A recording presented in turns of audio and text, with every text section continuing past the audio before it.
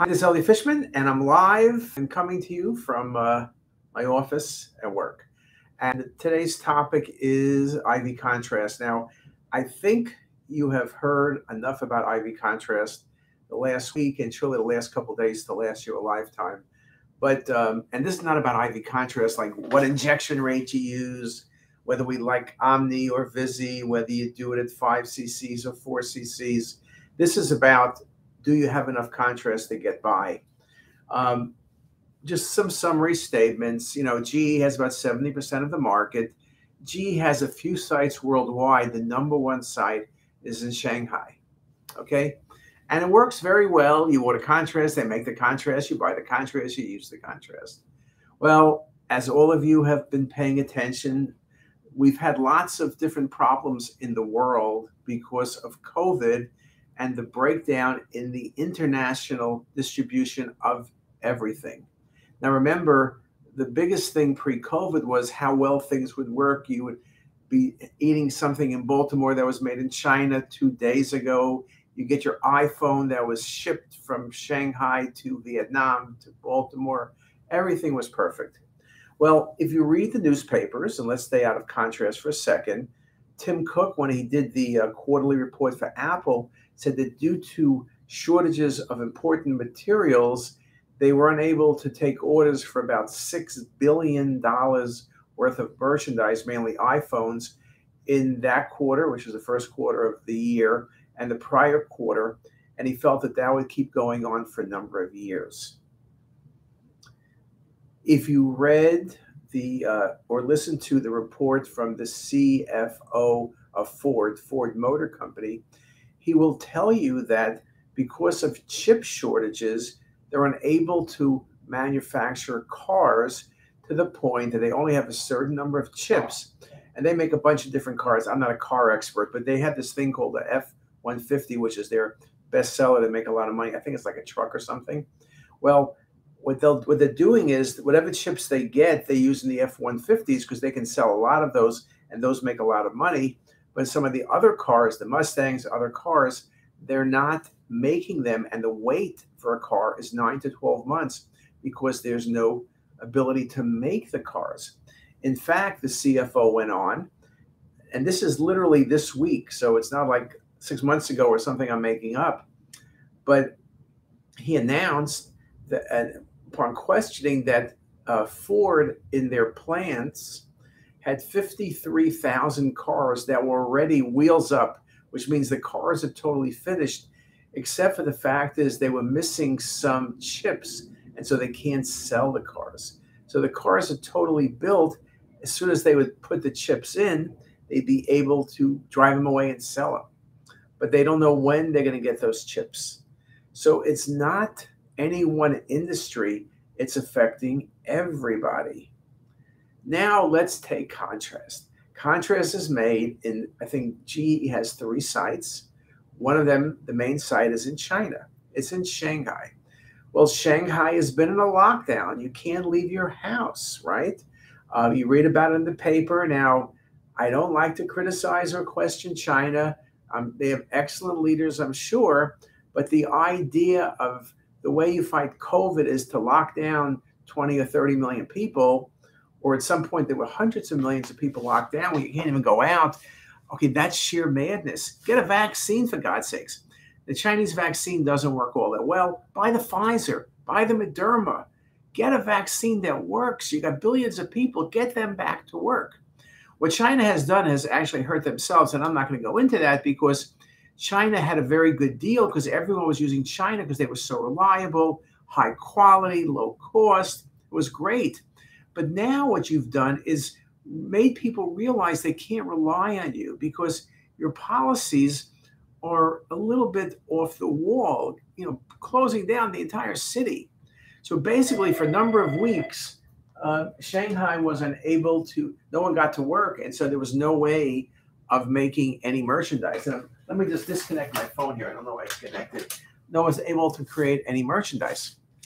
Uh, now, from what I understand, what they did is they put people, this is what Tesla did at one point. They put people in the factory, and I think they sleep in the factory. They get fed in the factory, they sleep in the factory. The truth is, I'd rather be working and sleeping in the factory than sleeping at home with no food. So it's good to be in the factory. You go with some friends, you know, yeah, make some contrast. But then again, you have to ship the contrast. There's problems with shipping. Maybe they can fly it over. Uh, GE is saying that they're shipping 20 or 30 percent. They hope to get more contrast within a couple of weeks from their other plants, which I forget, there's two other plants but none are really US based. And they hope that within mid June, things will be back to normal. So things invariably will be back to normal. I have no doubt about that. I think at that point, you need to be thinking, what is it you do to make sure this doesn't happen again? One of the things that every hospital or outpatient center does is you minimize how much contrast you have, gets delivered every week or every number of days because it's very efficient. Well, this morning I looked at our contrast, our Omni 350. Do you know when it expires? February 2025. So I think what you're going to have to do, and we learned this the hard way with gloves, we learned it with uh, gowns, we learned it with masks. They're simple, but when you don't have them, you don't have them. And so we store, when we store days of masks, we store we store months of masks. And perhaps what you need to do in the future, it'll cost some money, take some space, store contrast. Whatever contrast you use in your hospital, your outpatient center, instead of storing three days or six days, store six months. It's just, you need to be safe. And I recommend also you make sure you have enough tubing and needles and injectors because everything can be short. I think GE did not do this on purpose. GE loves to sell contrast. They love to do the customer service. That's not the issue. It's things beyond anybody. You read what's going on in the Ukraine, and we wish the Ukrainian people all the best. They're very brave, they're doing well. But the Ukrainian crisis has created many other things, and you're seeing food shortages. People will starve because Ukraine is a food basket for the world. There's so many things, there's interconnectivity. Interconnectivity is great, but you have to have the interconnectivity work. We've now found where the interconnectivity does not work. And so we have all sorts of problems. So going forward, I think also one of the things that companies are doing, like Intel, Western Digital, instead of having factories in Korea, factories in Taiwan, factories in China, you're building factories in the US. Many states want jobs and it'll give you some really good tax deductions. So you can build factories in the South, in the North, in the Rust Belt, in the, in the Sun Belt, wherever you want to do it, build factories. I think it's very important. And maybe what GE needs to do, and we can encourage them, help support them, is build a factory in the US. So we're never hostage to someone else's behavior. Uh, in the short term, what could you do? Okay. There's a very good thing from the ACR came out yesterday, so I'm not going to repeat it. But the obvious things are manage contrast well. Okay, do not use more than you need to do. Uh, it's usually is not an issue. Now it's an issue. So just make sure you use it carefully. If you don't need to study with contrast, don't do it with contrast. But that's true all the time. You got to be careful. You don't want to give less contrast, which you have to do a little bit, and you can get by. But you want to be very careful that you don't do less contrast where the studies aren't as accurate. The last thing you want to do is someone go to surgery because you don't see liver mets because you didn't see it because the contrast was bad. So you need to kind of work around that. When it's possible, get a different study. If your protocol is for adrenal CT, which is the correct protocol, maybe for the next few weeks get a little bit more MR. But some things, get a little bit more ultrasound.